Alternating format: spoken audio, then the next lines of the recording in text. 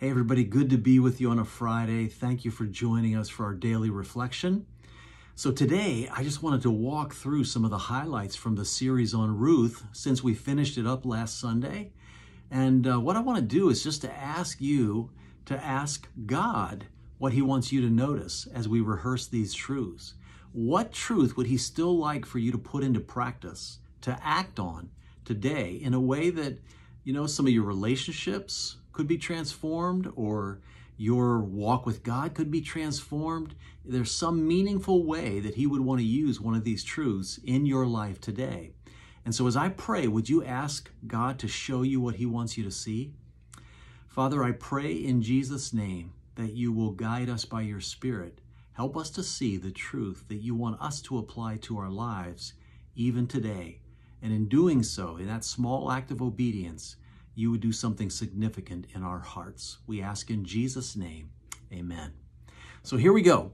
In week one, we talked about loyalty and how my loyalty to God is the path for me to encounter God's loyalty toward me. Um, we talked about what loyalty looks like uh, strength in embracing our circumstances, choosing joy no matter what we're facing, forgiving someone, and having strength to resist temptation. That's what loyalty to God may look like in our lives. Then in the second week, we talked about seeking refuge by doing what is right, not what is easy. And so uh, that was awesome. We talked about bringing healing to bitterness. We talked about the eight evidences of bitterness in our lives. And you remember those difficulty in resolving conflict, acting in revenge, outbursts of anger, and there are five more. We talked about bitterness and how it crowds out our joy and uh, it darkens our perspective on our situation and on our life, even, and how it robs us of love. It robs um, us in being able to share uh, love for other people. And we said that seeking refuge is by acting and taking initiative um, taking initiative right where you are, whatever your circumstances are, trusting God that no matter what you face, He has a plan. And so seeking refuge in those ways.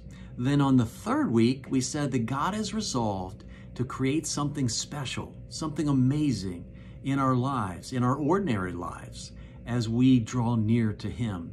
Are you the person that God wants you to be?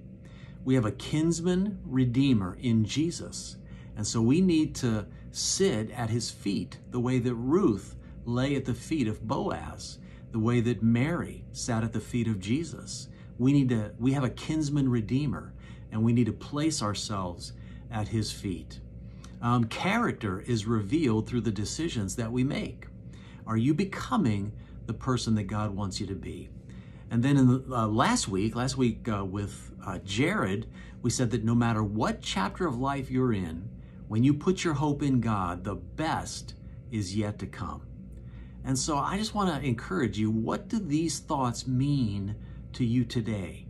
How do they intersect with your circumstances? What can you apply um, today or do uh, to put that truth into action in your everyday life? See, literally dozens of ways to act on these biblical truths from this book of Ruth. And so I just want to remind you what James said in chapter 1, beginning in verse 22.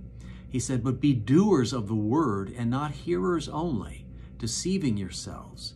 For if anyone is a hearer of the word and not a doer, he is like a man who looks intently at his natural face in a mirror.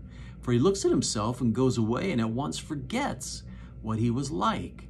But the one who looks into the perfect law, the law of liberty, and perseveres, being no hearer who forgets, but a doer who acts, he will be blessed in his doing. And so I want us to be doers who act. What is that truth that came out of the book of Ruth that God still wants you to put into practice in your own life today?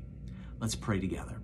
Father, I commit this to, uh, to you, uh, praying for myself and my friends, that you will help us to be doers who act doers of the Word of God. These wonderful truths from the story of Ruth, from the book of Ruth, Lord, they can transform our lives as we seek refuge in, in you, as we allow you to shape our ordinary lives.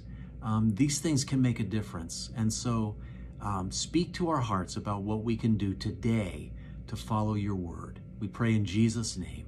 Amen. Hey, it's going to be great to be with you this weekend. I hope to see you um, on Sunday uh, here at the Centerville campus or all the other campus pastors at their place. Um, let's let's worship God together. We are better together. Have a great day.